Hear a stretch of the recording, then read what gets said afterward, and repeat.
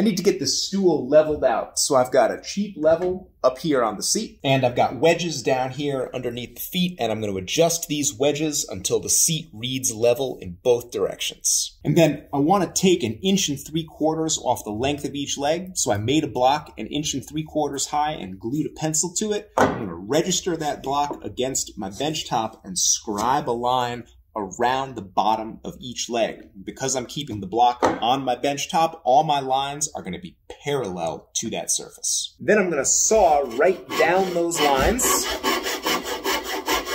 And my stool sits perfectly level.